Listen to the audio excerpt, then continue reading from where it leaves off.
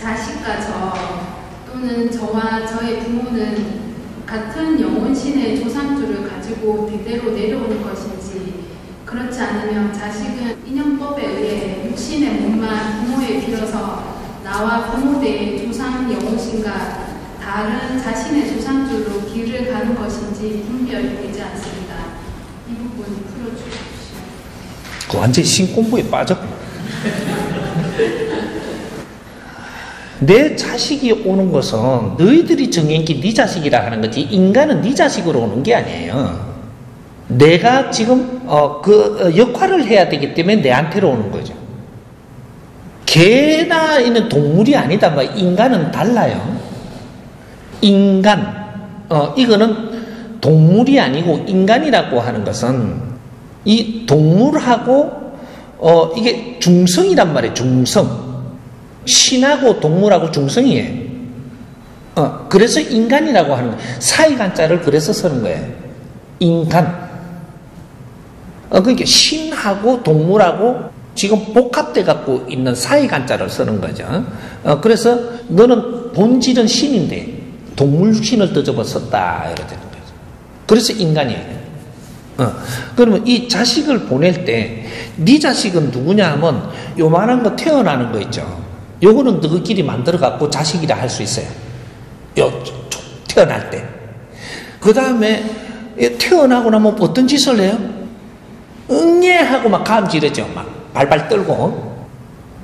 요러고 나서는 이제 전부 다 네 자식이라고 이야기하면 안 되는 거죠. 요때 글마가 들어왔거든요. 발발 떨 때. 육천육혈로 에너지가 쫙 들어온 거예요. 이게 영혼이라고 이야기하는 기운, 원소, 어, 주체가 들어온 거죠. 요때 들어올 때 애가 못 견뎌요, 이거. 쫙 들어가기 때문에. 어, 요러고 나서는 이건 네 자식이라 이야기하면 안 돼요, 이제. 그 네가 배에서 나온 게 아니거든요. 어. 그렇게 육신은 너희들이 생산을 해서 고통을 가지고 했지만 영혼은 네가 고통받으며 들어온 게 아니에요. 그래서 이걸 내 자식이라고 욕심을 딱 내는 순간에 자연에서 니를 보살필 수가 없는 거죠. 요래서 우리 국민들은 산후병이라는 게 생기는 거예요. 아, 그리고 자식들을 키우는 데 애 먹는 거예요. 어, 요런 것들, 요거 하면 또 깊게 가니까 너무. 어, 우리 자식이 오는 것은, 내한테 인연을 주는 것은 빚쟁이 고리로 오기 때문에 빚을 갚으라고 오는 겁니다. 응?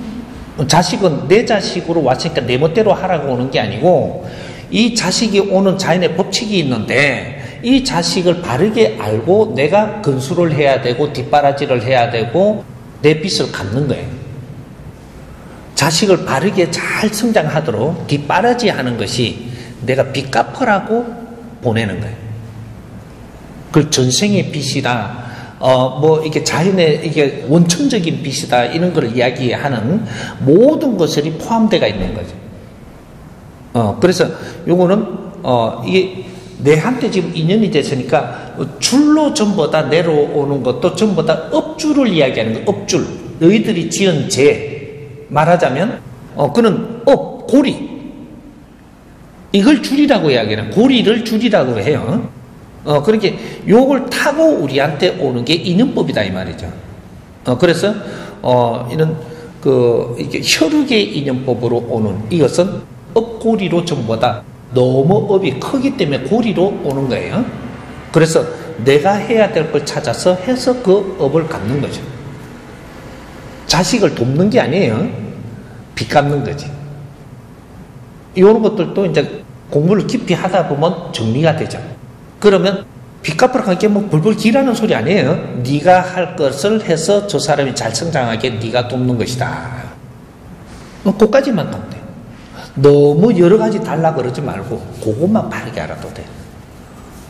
어, 그게 모든 우리 조상님들은 우리 업고리로 해가지고 어, 전부 다 역할을 하기 위해서 인연을 주는 거고 우리가 좀 대표님이 이렇게 어, 이런 거 뭔가를 이루어 놓으니까 어, 이렇게 전부 다 이게 그 우리 직원으로 들어와서 같이 일하는 거는 대표님이 업이 있기 때문에 이런 것들을 같이 나누어서 이 사회가 도움되게 해가지고 이 업을 갖는 거예요. 어, 그래서 그 대표가 되는 거예요. 어. 내한테 온 사람은 바르게 성장을 할 수 있도록 뒷바라지를 잘 하고 잘 이끌어주고 이것이 내 업을 갖고 있는 거란 말이죠. 어, 그것이 업이 큰 사람은 사회에 큰 일을 하는 거죠. 업이 큰 사람은 업이 작은 사람은 작은 일을 해도 돼요. 어, 어 그렇게 하는 거니까 요, 요, 또, 또 번져가면 너무 크게 공부해야 되니까 어, 그렇게 이해됐어요? 직접 빚을 가진 것들이 있고 간접적인 빚을 가지고 있는 게 있고 어, 이렇게 이제 이 사회다 공헌하는 것도 빚을 갚는 겁니다. 어, 그리고 간접적으로 빚을 없애는 것도 내 빚을 없애는 거예요.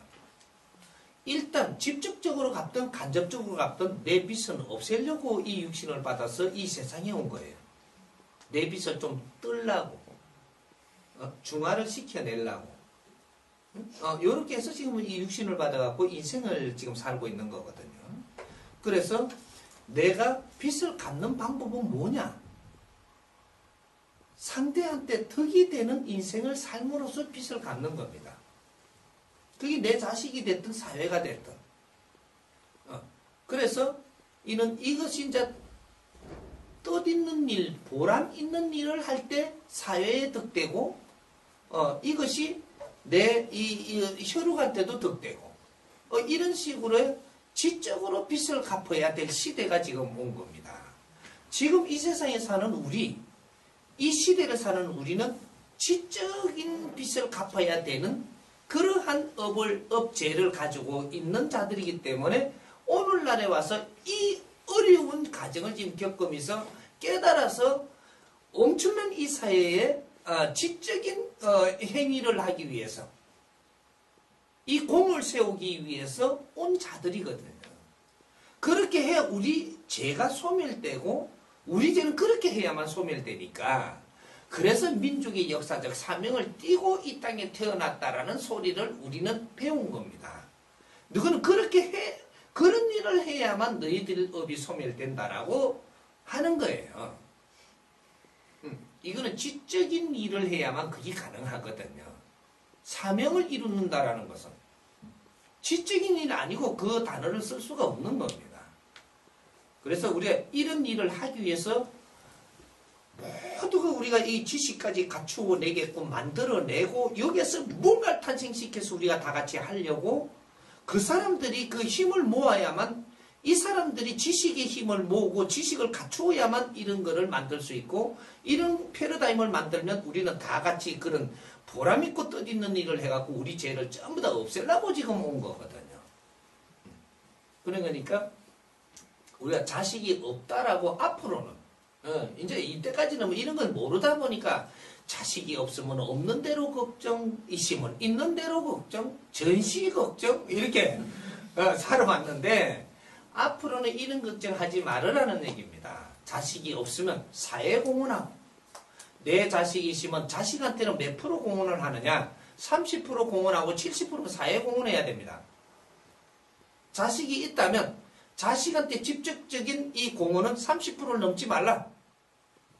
이건 대전의 법칙이에요. 앞으로. 그리고 사회에 공헌하라. 아, 요거죠.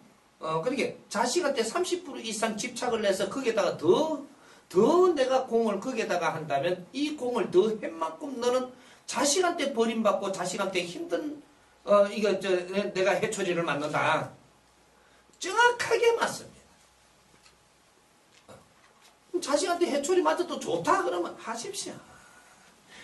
자식한테 해초리 맞는데 내만 어려워지네. 네 자식도 어려워진다는 사실입니다. 이런 미련한 짓은 안 하는 것이 최고 옳은 방법이고 하려면 조금 해보고 어, 더 하는 거는 어지간하면 하지 마십시오. 그가 참 힘듭니다. 어, 어, 그러니까 앞으로는 자식 없다고 걱정하지 마라. 내가 이 세상에 얼마나 보람있게 살고 가느냐, 뜻있는 인생을 살고 가느냐, 이것을 우리가 어, 가지고 가야지. 일단 이 세상에 왔으면 내 업을 벗고 가야 된다. 이제는 직접적인 업을 지금 소멸할 때지, 간접적으로 할 때가 아니라는 겁니다. 이것이 이제는 다 됐어요. 우리를 세상에 나오게 할 때, 예? 우리 부모님들까지가 다예요. 근데 우리 시대, 우리 시대는 자식 걱정 안 해도 됩니다. 우리 부모님들이 우리를 위해서 몇 프로 인생을 어, 희생하고 갔어요? 이제 뭐 좀 알겠죠? 70%를 희생하고 갔습니다. 자기 인생은 30%밖에 못 살았어요. 근데 우리 시대의 우리 젊은이들, 지금 50대 안팎의 젊은이들부터 이 사람들은 지금 자식한테 몇 프로 희생하고 있는 것 같아요? 30% 희생하고 있습니다. 내 인생을 바르게 살라고 노력하는 게 70%. 자식한테는 30%를 희생하고 있는 거예요. 이것이 왜 그러냐? 이제는 직접적인 내 업을 내가 소멸하지. 자식한테 대물려 주지 않는다라는 얘기입니다. 자식한테 내가, 나는 인생을 살지 않고, 내가 업을 갚을 일을 직접적으로 행하지 않고, 세상에 보람되고 뜻있는 일을 안 하고, 자식한테 몽땅 자식 키워갖고, 내제 네가 갚으래. 이러고 죽, 죽는 시대가 아니라는 거죠. 지식사회로 변한다라는 것이 이런 걸 이야기합니다. 내 일은 내가 담당하고, 너 것은 너가 잘해라. 그리고 너한테 내가 뒷받침 해 주는 거는 내의 기운 30%니라. 그것은 네가 성장하는 데 필요한 그러한 에너지니 이걸 뒷받침 해 주면서 그잘 성장하게끔 해주는 그렇게 해서 이제 나는 내 인생으로 내가 또 이 세상에 공헌을 해서 내 업을 소멸하는 이런 시대를 맞이하는 게 이 지식사회입니다. 이렇게 자식 때문에 너무 고민하는 이런 거는 이제 전부 다 불시해도 됩니다. 이해가 좀 갑니까? 예.